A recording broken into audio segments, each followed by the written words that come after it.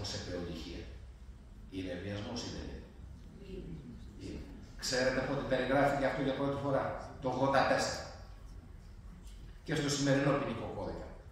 Ο σημερινός ποινικός κώδικας λοιπόν ξεφεύγει λίγο από την έννοια της ενουσία και λέει Όποιος εξαναγκάζει άλλο σε επιχείρηση ή ανοχή γενετήσιας πράξης και διευκρινίζει στη δεύτερη παράγραφο του άρθρου ότι η γενετήσια πράξη είναι η συνουσία και η ίσης βαρύτητας με αυτήν την πράξη.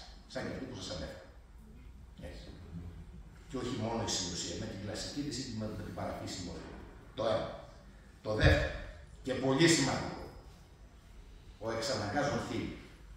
Δηλαδή οι άντρες δεν μπορούν να αποτελέσουν αντικείμενο βιασμού. Πλέον έχει φύγει και αυτή η έννοια στον νεοπαιδικό κώδικα. Και το πιο ουσιαστικό.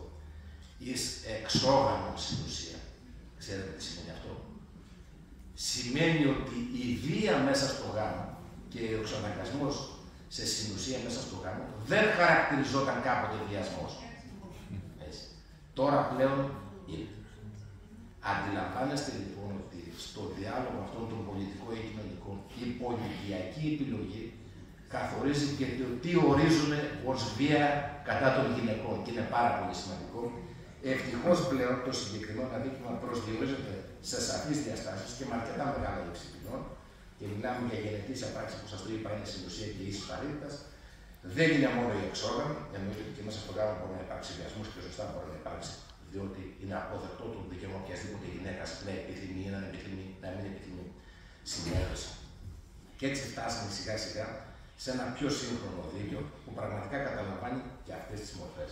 Τώρα δεν θέλω να αναφερθώ σε ίσονο σημασία σεξουαλικά δικαιώματα που είναι ασέλγε, δηλαδή η επιδείξη γεννητικών οργάνων και αυτό εντάξει είναι και αυτά σοβαρά δικαιώματα, αλλά δεν είναι ίση βάση με τον βιασμό που έχει τραγικές συνέπειες στην ισορροπία βέβαια και στη ζωή της γυναίκας οι συνέπειες της βίας κατά των γυναικών μέσα από όλα αυτά τα δικαιώματα. Τραγικές. Η απόλυτη τη ζωή. Τι πιο σημαντικό. Και η απόλυτη ζωή δεν αφορά μόνο τη γυναίκα, αφορά και τους οικείους της και την οικογένειά της, οι οποίοι και τη υφίσταται βέβαια. Η αναπηρία. Η εκτομή γεννητικών οργάνων, σας είπα και πιο μπροστά, δημιουργεί μόνιμη αναπηρία και μία αναστρέψιμη. Δεν είναι η περιτομή του άντρα που έχει αλλάξει ίσως και μηδενικά προβλήματα, είναι κάτι τελείως διαφορετικό και ψυχολογική αναπηρία. Η κατάρρευση ψυχολογική, μια γυναίκα που είναι θύμα βιασμού, νομίζω πως πολύ δύσκολα μπορεί να επανέλθει σε φυσιολογική ερωτική ζωή. Και βέβαια, η βία γεννά πάντα βία και αντίδραση. Ακόμη και η γυναικεία βία. Ξέρετε πώς αντιδρούσαν κάποτε οι γυναίκες σε αυτό το φαινόμενο της βίας των γυναικών; Με τον τρόπο που μπορούσαν να αντιδράσουν.